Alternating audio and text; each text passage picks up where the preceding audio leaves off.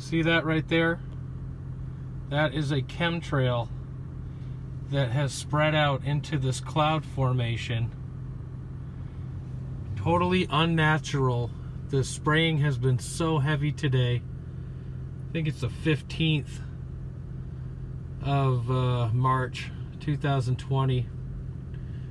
But I mean, that is some thick clouds. I could see earlier how it was just wafting down into the valley that I was looking across, and it was all hazy. And uh, I just don't trust the government at all. I don't. I want to know what they're spraying on us and why, and what health effects it has. I mean, the aluminum is bad enough, but then they can use that mechanism to carry anything. And you know, it's the truth needs to be told. Period. The truth needs to be told. This chem spraying needs to stop. It needs to be talked about. It needs to be brought to everyone's attention.